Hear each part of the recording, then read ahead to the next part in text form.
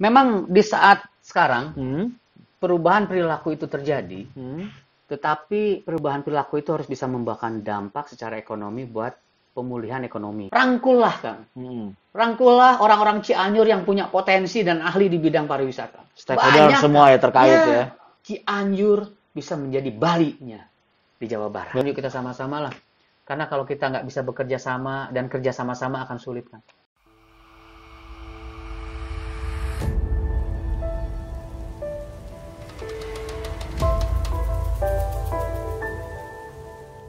Ya, Assalamualaikum warahmatullahi wabarakatuh. Sobat Cirek, kali ini kita kembali lagi ke Talkshow COVID melawan 19. Kalau ko- Talkshow COVID-19, hari ini saya sudah bersama dengan Ketua Badan Promosi Pariwisata Daerah, Pak Hadi Sutrisno. Kita akan berbicara panjang lebar terkait sektor pariwisata di tengah pandemi COVID-19 dan Betul. cara pemulihannya seperti apa nih di di, di eh, memasuki adaptasi kebiasaan baru saat ini Iya. kan itu Pak. Ya. Nah, Pak Hadi gimana kabarnya? Baik-baik, alhamdulillah. Alhamdulillah ya. Salam COVID dulu. Salam COVID dulu. dulu. Oke Pak Hadi, ini kalau biasanya kita di ruangan ya kan di kantor Iya, gitu. iya, ini Nah, santai. nih. Kita di outdoor sekarang gitu kan. Iya, betul. Pak Hadi, ini kan pandemi COVID masih berlangsung ya, di Mm-mm, Indonesia, mm-mm. khususnya di Cianjur sendiri. Mm. Nah, salah satu yang terkena dampaknya itu kan dari sisi ekonomi kan sektor pariwisata nih Betul, juga. betul sekali. Nah, Pak Hadi ini kan selaku Ketua Badan Promosi Pariwisata Daerah. Iya. Mungkin bisa jelaskan mungkin awal dulu gambaran sebelum pandemi umum, ya. kondisi pariwisata di Cianjur khususnya seperti apa? Iya. Baik, terima kasih nih, ya, Kak Heri ya. Jadi memang Hmm. ini COVID-19 ini terus terang aja menghantam segala, segala lini, segala sektor, segala aspek Oke. kehidupan. Hmm. Bayangkan selama tahun 2020, Hmm. begitu pandemi masuk ke Indonesia, Ya. di Wuhan Desember 2019, masuk ke Hmm. Indonesia itu sekitar Februari Maret. Maret. Hmm. Dari sana itu udah mulai Hmm. lockdown terjadi, PSBB Hmm. terjadi, Hmm. sektor ekonomi betul-betul ambruk. Oke.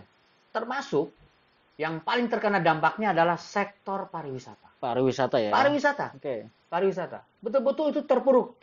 Apalagi periode dari April, Hmm. Maret, itu terus aja. Beberapa hotel ada yang tutup. Okupansi tingkat hunian kamar itu terus sampai nol. Hmm. Nah, sedangkan kewajiban dari pihak industri perhotelan, para pengusaha, Menggaji- kewajiban membayar gaji karyawan, Ya. kewajiban membayar listrik, Operasional operasional. Walaupun dari pemerintah memberikan relaksasi, ya. Hmm. keringanan untuk Hmm. membayar misalnya listrik ya. Hmm. Tapi tetap kemampuan untuk membayar kewajiban-kewajiban itu itu hanya sementara mungkin satu dua bulan, tiga bulan. Selanjutnya, selama bisnis itu belum pick up, belum Hmm. naik lagi, Hmm. terus terang aja. Sangat-sangat terpuruk dunia pariwisata. Di Kita- Cianjur gimana khususnya? Di Cianjur juga sama. Sama ya. Sama. Apalagi restoran kan. Itu banyak banyak yang yang yang yang tutup, Oke. banyak Hmm. yang tutup juga Hmm. gitu kan. Hmm. Di Cianjur juga. Hmm. Ini secara gambaran apa eh, gambaran umum ya. Ah, Dan memang Covid ini tidak terduga. Ya. Sangat-sangat tidak terduga memberikan dampak yang sangat luar Hmm. biasa terhadap seluruh aspek kehidupan, Ya. khususnya aspek pariwisata. Pariwisata ya. Pariwisata merupakan sektor yang pertama kali terdampak karena Covid ini. Seperti apa sih Pak? Yang terasa banget gitu dampaknya gitu. Dampaknya pariwisata. memang terus terang aja pengangguran sangat penting. Kemampuan pengusaha, kemampuan pengusaha untuk membayar gaji saja itu sudah tidak mampu, sudah tidak ada daya. Hotel, restoran, Hmm. Terus industri pariwisata lainnya gitu kan. Itu hanya bertahan tiga bulan. gitu. Hanya bertahan 2-3 bulan untuk, untuk Di awal pandemi itu ya? sudah- Betul, karena cash flow sudah sangat-sangat terganggu, Pak. Sudah sangat-sangat terganggu. Oke, oke. Dan ini memang pemerintah ada kepedulian dalam hal itu Ya. dengan memberikan bantuan, tetapi kan tidak mencukupi. Karena kemampuan pemerintah juga terbatas. Sedangkan sektor pariwisata bukan hanya sektor pariwisata saja, Ya. sektor-sektor yang lain pun juga membutuhkan bantuan. Iya. Nah, di sanalah, di sanalah eh, kita kita di industri pariwisata, walaupun dampaknya seperti itu, dampaknya sangat-sangat keras gitu kan Hmm. ke sektor pariwisata, tetapi kita masih punya keyakinan dan optimisme kan Oke. bahwa sektor pariwisata akan menjadi sektor yang pertama kali recovery setelah wabah COVID ini. Pertama kali recovery. Pertama kali recovery sektor pariwisata. Oke. Alasannya apa? Kang Hari juga kan udah bosan di rumah ya. Iya sih, Pak. Betul, Pak. Itu dirasakan oleh semua. karyawan Berarti kan ketika masuk adaptasi kebiasaan baru, Ya. normal. Betul. Nah, di sini apakah ini awal salah satu tadi sektor yang pertama kali akan cepat recovery-nya? recovery pariwisata. Sekarang aja, memang recovery pariwisata itu akan bertahap. Tetapi sektor pariwisata akan menjadi sektor yang pertama kali recovery setelah pasca COVID-19 ini berakhir. Sekarang ini, kepercayaan timbul, keinginan timbul karena apa? Kita punya keyakinan vaksin ini berjalan efektif.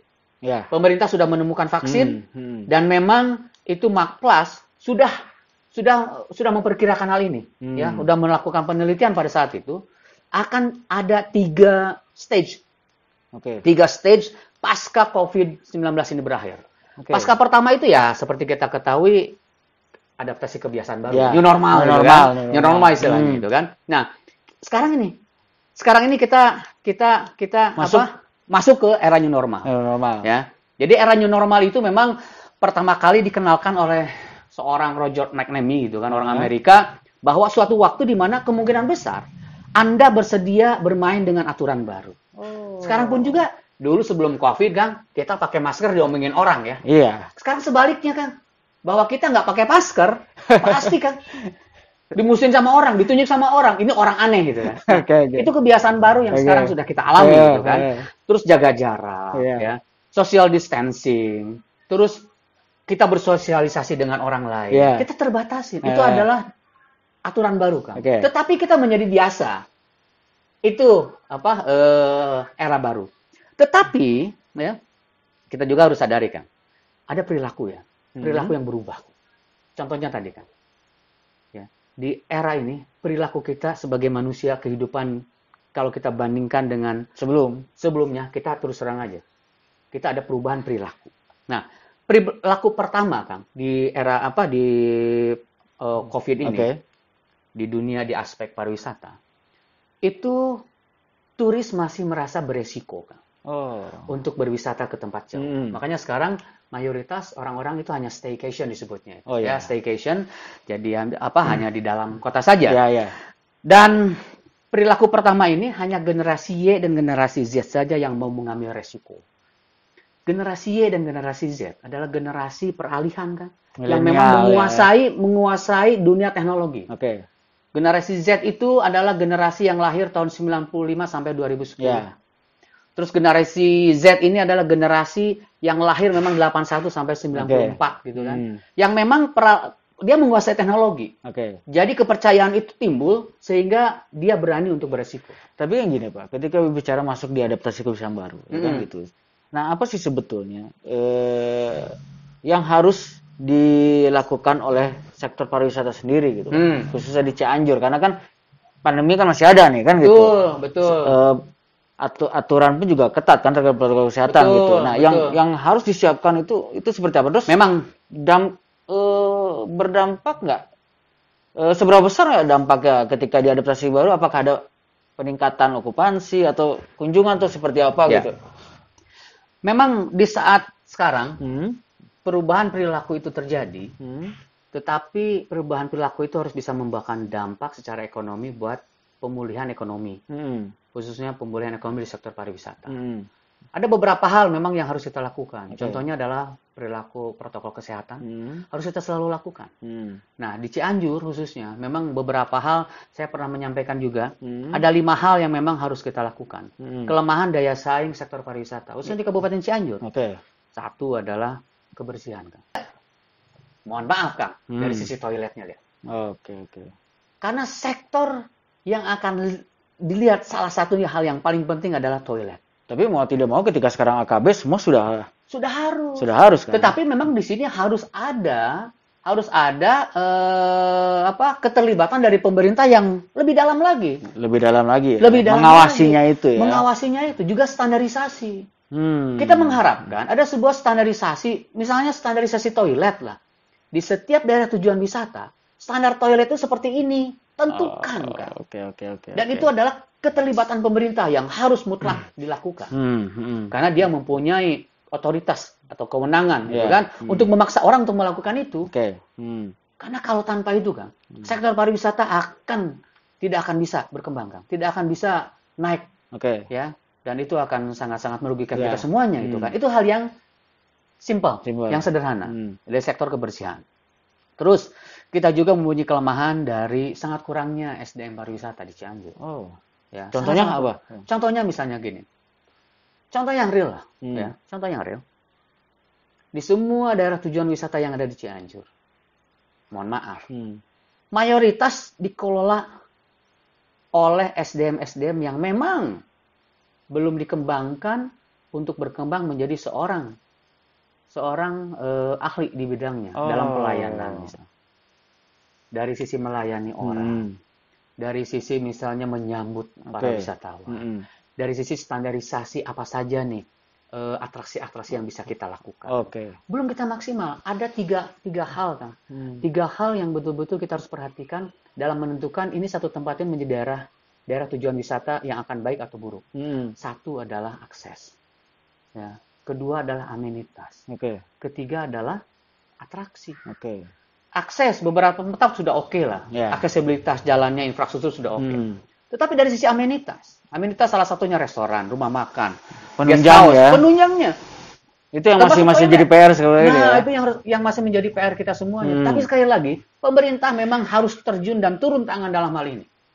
Oke. Nah, saat ini gimana ngeliatnya? Gini kan, ya tadi saya bilang saya, eh, AKB ini kan udah di jalan ya kan Hmm. gitu.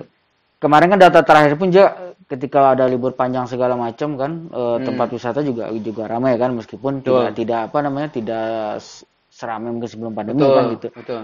Tapi sudah nampak belum di saat ini sektor pariwisata itu di Cianjur ketika AKB ini sudah mulai recovery-nya itu loh, tumbuhnya itu. Nah, eh, bisa ya dan bisa tidak ya. Saya mengatakannya. Kenapa bisa ya dan bisa Hmm. tidak?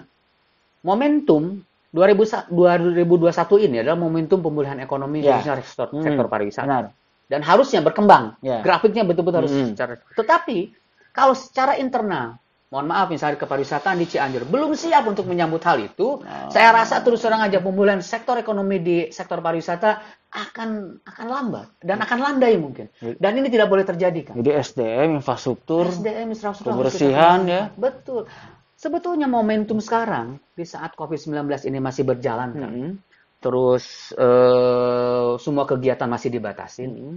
Pak, saatnya sebetulnya sekarang dalam hal pengembangan SDM di sektor pariwisata. Hmm. Ada kan pelatihan-pelatihan walaupun misalnya dengan Terbatas, terbatas, ya. Hmm. 50% orang kan Hmm. bisa dilakukan, tetapi kita masih melakukan itu. Dampaknya bisa dirasakan 5-7 tahun ke depan. Jadi Kang. ketika pandemi sudah usai, kita sudah bisa Sudah siap. Momentum sekarang. sekarang momentumnya Sekarang sebetulnya. momentum. Untuk Ketika pengembangan SDM. setahun ini bisa jadi momentum itu. Nah, sehingga dalam waktu yang rentang waktu yang masih panjang Hmm. gitu kan. Pada akhirnya begitu pariwisata recovery secara normal kembali Hmm. gitu kan. Itu SDM kita sudah siap. Jadi pemerintah itu tetap ya SDM juga ya, infrastruktur juga tetap ya berarti. Betul. SDM kan. Oke, nah Badan Promosi Pariwisata Cianjur sendiri ya, Hmm. dalam waktu dekat mungkin apa yang yang yang bisa mungkin di- di- dibantu oleh BPPD sendiri? Begini Kang ya. Kita ini memang dibentuk di bulan September 2019. Hmm. Sampai saat ini walaupun ya Hmm. kita ini belum pernah mendapatkan satu rupiah pun juga anggaran kan. Hmm. Belum. Tetapi kita sudah melakukan salah satu yang yang yang harus kita lakukan, Hmm. yaitu apa? Pengembangan SDM itu. Selama SDM itu ya. Kita pernah melakukan di beberapa tempat. Hmm. Misalnya daerah Gunung Padang itu. Oh. Kita oke. pernah mengumpulkan kompeparnya, Hmm. kita mengumpulkan stakeholdernya, Hmm. warga masyarakatnya. Hmm. Kita presentasi tentang pengembangan Gunung Padang ini menjadi desa wisata. Oke. Mimpi kami kan, Hmm. Gunung Padang, Kampung Pandanwangi Oke. bisa dijadikan menjadi desa wisata. Kita ingin positioning jelaskan. Hmm. Gunung Padang itu sudah dikenal oleh dunia. Oke. Kenapa tidak kita manfaatkan? Hmm. Kita sudah mempunyai satu satu satu apa ya kekuatan Hmm. bahwa Gunung Padang sudah dikenal. Hmm. Kampung Pandanwangi misalnya. Hmm. Itu satu kekuatan juga. Hmm. Satu kekuatan apa? Kita ingin membuat Pandanwangi ini Hmm. menjadi salah satu ikonnya Cianjur. Oke. Jadi kalau orang luar ingin mengenal Pandanwangi, Hmm. beras Pandanwangi, cara menanamnya, seperti apa, lumbungnya seperti apa, nggak usah datang ke mana-mana, datanglah ke kampung Pandanwangi itu. Kita bisa create seperti itu kan. Hmm. Ada pepatah mengatakan seperti ini dalam teori marketing. Oke. bahwa market itu nggak bisa nggak bisa dicari, tapi dikreatkan, diciptakan. Momen tepatnya itu harus kapan? Apakah di pandemi ini bisa jadi momen tepatnya di, Saat di ini pemulihan kita- sekarang ini? Saat ini yang harus kita lakukan adalah preparation, persiapan kan.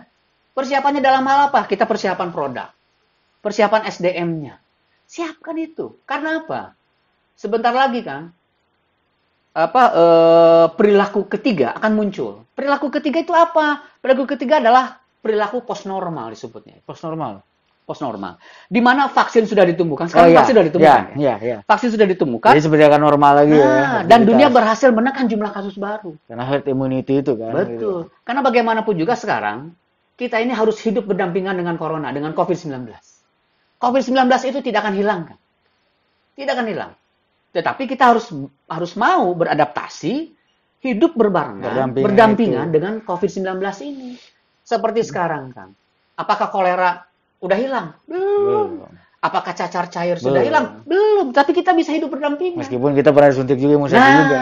Oh. Nah, kita juga sekarang konsepnya dengan COVID-19 ini, kita biasakan diri untuk hidup berdampingan dengan COVID-19 ini. Tapi BPBD punya analisa nggak? Hmm. Eh, kapan kira-kira sektor pariwisata di Cianjur itu akan pulih atau Pulih kembali normal lagi? Kita memprediksi akan pulih kembali secara normal Hah? itu sekitar bulan Juni Juli Kang. Juni Juli. Setelah setelah vaksin setelah vaksin selesai secara Hmm. menyeluruh, secara, secara Hmm. menyeluruh dan kita sudah masuk sudah masuk Di- melewati bulan Ramadan dan Ah. Lebaran, baru setelah itu terus terang aja. post normal itu. akan recovery dan grafiknya akan cepat. Nah, makanya saat inilah saat yang paling tepat oleh pemerintah daerah untuk melakukan persiapan menuju ke arah sana.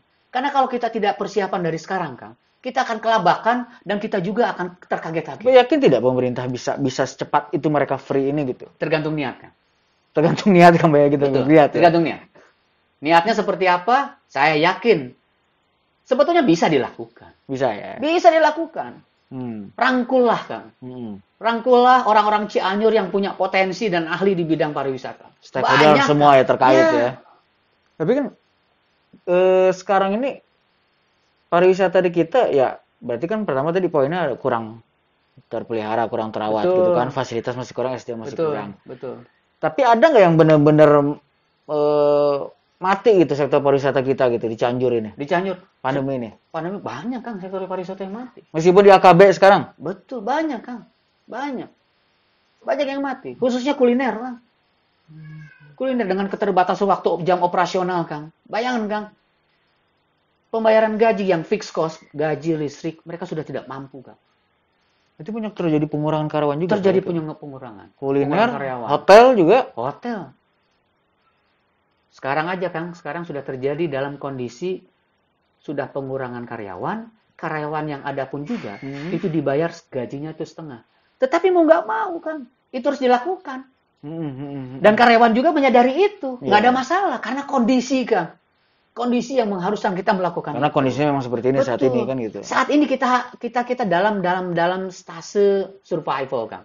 Yang penting kita bisa hidup aja dulu. Nah, tapi menariknya gini, Pak. Ini bicara pemilihan ekonomi. Sektor Ah. pariwisata oke tadi pemerintah harus pemerintah daerah harus mem- memperbaiki SDM-nya, infrastrukturnya, Ya. segala macam. Ya, Berbicara pemulihan ekonomi, di sekeliling sektor wisata kan ada kuliner, ada Ya. hotel, ya kan? Ya. Orang-orang yang hidup nih kan di, Betul. di seputar objek wisata itu. Apa yang harus dilakukan pemerintah? Apakah eh, memberikan bantuan modalkah atau memberikan bantuan lain berupa apa gitu? Nah begini Kang ya. Eh dengan memberikan bantuan modal pun juga, Hmm. bantuan op- untuk operasional itu Hmm. bukan solusi yang terbaik juga Oke. sebetulnya. Hmm. Ya. Tetapi eh, untuk minimal sektor industri pariwisata itu survive, Hmm. bisa mempertahankan hidupnya saja, itu sudah untung. Hmm. Saran saya, Oke. saran saya, bangkitkan sektor pariwisata. Datangkan wisatawan, walaupun wisatawan yang saat ini datang adalah wisatawan Nusantara, Ya, lokal lokal. Hmm. Tetapi walaupun kita ada ada ada ada apa? Ada protokol kesehatan yang harus kita lakukan. Hmm. Tetapi buka sektor itu kan. Sektor itu buka eh sekali lagi walaupun dengan eh, protokol kesehatan ya. Eh, tapi itu harus dilakukan Hmm. agar apa? Sektor pariwisata baik hotel maupun restoran Hmm. itu bisa bisa bisa menghidupi dirinya sendiri. Hmm. Karena APBD, anggaran pemerintah Kabupaten Iya. Cianjur ada keterbatasan. Keterbatasan. Ada sangat-sangat terbatas. Iya. Tidak mungkin, Kang, bisa menghidupi semua sektor pariwisata. Iya, memang. Tidak mungkin. Hal lain lagi juga yang harus dilakukan oleh pemerintah. Ya, eh, bahwa harus ada diberikan relaksasi lah. Ada Apakah- stimulus ya. Stimulus. Keringanan-keringanan Nah, gitu. Karena di, di di industri itu yang fixed cost ini, Kang. Oh, yang personalnya itu yang besar ya? Operasional ya itu. Satu gaji Gaji. karyawan, kedua pembayaran listrik, ketiga adalah air- eh, pembayaran air eh, Iya. air, ya. Hmm. Sampai situasi kondisi normal kembali. Hmm, hmm. Seperti itu. Nah, berarti target bulan Juni prediksi Prediksi kita ini akan akan naik, akan naik. akan naik, akan naik. Setelah vaksin rencana kan pemerintah memberikan vaksin massal itu Oh, iya. targetnya Maret 2021 Sampai 2021. selesai. Artinya punya waktu Maret, April, Mei, Juni untuk recovery secara menyeluruh, Kang. Tetapi ya itu, yuk kita lakukan bareng-bareng dari sekarang gitu kan, untuk menyiapkan segala sesuatunya, Kang. Ketika vaksin sudah kan gitu. Hmm. Terus itu tadi ketika masih ke pos normal gitu kan. Hmm, eh wisatawan udah mulai banyak yang masuk. hmm.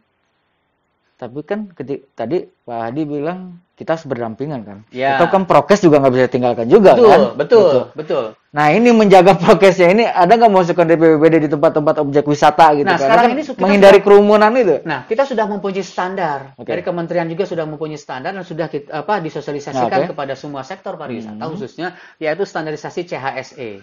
CHSE itu cleanliness, health, Hmm. ya, and safety environment. Hmm.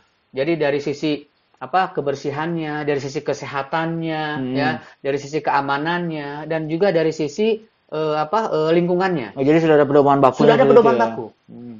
Semua sektor, seluruh sektor pariwisata baik hotel maupun restoran harus melakukan sertifikasi CHSE ini. Oh. Dan itu cukup bagus. Kap- Sehingga Itu sudah berjalan. sudah berjalan, saat ini sudah berjalan. Sudah berjalan. Dan mungkin di Cianjur ini baru beberapa hotel saja, tetapi Hmm. kita ingin ngebus, ingin mendorong semua sektor pariwisata, Hmm. baik hotel, restoran, dan sektor-sektor pariwisata Hmm. yang lainnya untuk melakukan CHSE ini, sertifikasi CHSE ini. Itu dilakukan oleh siapa? Itu oleh lembaga sertifikasi. Dan sebetulnya se- sudah sudah sudah dilakukan sejak bulan November yang lalu. November 2020 sudah sudah dilakukan di Jakarta itu mutlak itu. Harus itu. Hmm. Nah, Cianjur pun juga harus didorong untuk melakukan itu sehingga apa? Sehingga standarisasi protokol kesehatan tetap dilakukan menurut kaidah-kaidah sertifikasi yang sudah mereka lakukan. Standarisasi itu sudah jelas. Berarti yakin optimis sektor pariwisata akan cepat pulih. Kita yakin Dan yang paling optimis. awal recovery. Betul. Kita yakin. Kita yakin sektor pariwisata akan menjadi sektor yang pertama kali recovery dibandingkan sektor-sektor yang lain kan. Oke. Terakhir ya, Adik. Imbauan mungkin Ya. bagi pelaku apa eh, pariwisata khususnya di hotel Hmm. juga gitu kan eh, kuliner segala macam himbauan nih. Ya. Sekarang ini seperti apa nih? Jadi himbauan satu untuk para pelaku Ya. bisnis pariwisata. Yuk kita sama-sama termasuk dunia pendidikan. Hmm. Kita ingin mendorong eh, harus cermat dan melihat gejala-gejala dan perubahan yang Hmm. terjadi. Kita mau nggak mau harus membiasakan diri terhadap apa eh, kebiasaan baru Hmm. ini. Kita lakukan protokol-protokol kesehatan Hmm. sesuai dengan standarisasi yang sudah dilakukan. Hmm.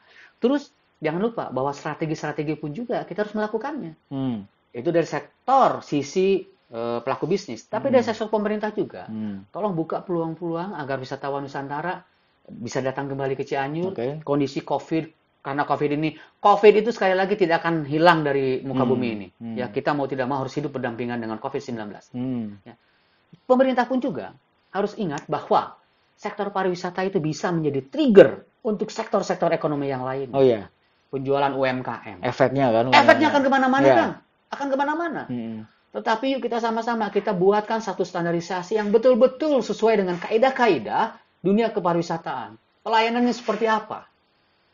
Dan kalau itu bisa terjadi, Cianjur bisa menjadi Bali-nya di Jawa Barat. Dan ini sektor pariwisata sektor yang sangat menarik. Karena apa? Bisa menjadi trigger untuk sektor-sektor yang lain, kan? Oke. Itu kan.